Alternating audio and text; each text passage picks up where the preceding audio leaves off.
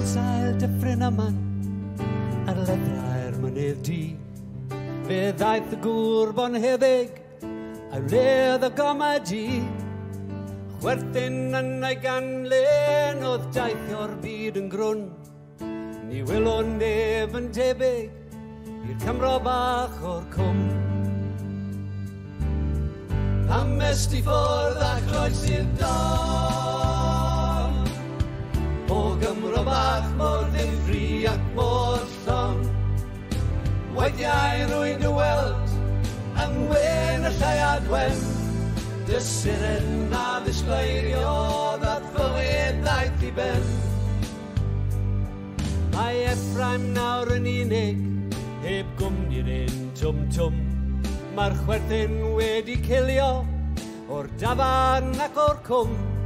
Tywylwch drod sail lwyfan a'r wlad y fo a fe A daigryn ym mhob llygad o'r gogledd i lawr i'r de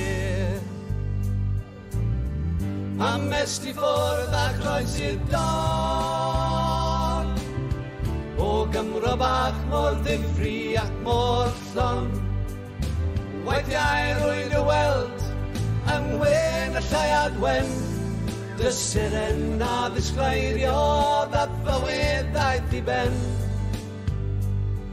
Fe gofiwn am dyddoniau pan fydd y nos yn hir A phan wylwn yr hen gaelio gwynt yn troed a'r llais yn glir Dy fywyd oedd y llwyfan fe roes dy hun yn llwyr Dy wyr fel fflach o hailwen sy'n diffodd pan ddaw'r hwyr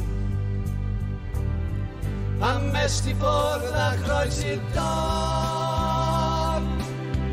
O Gymro bach mor ddifri ac mor llon Wediau rwy'n y weld yn wen y llai adwen yn na ddisgleirion at fywyd ddaeth i ben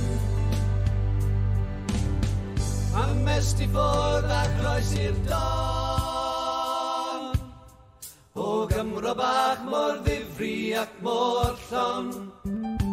Weithiau rwy'n dy weld yng ngwen y llai adwen, dy siren na ddisgleirio a fywyd ddaeth i ben. Dy siren na ddisgleirio a fywyd ddaeth i ben.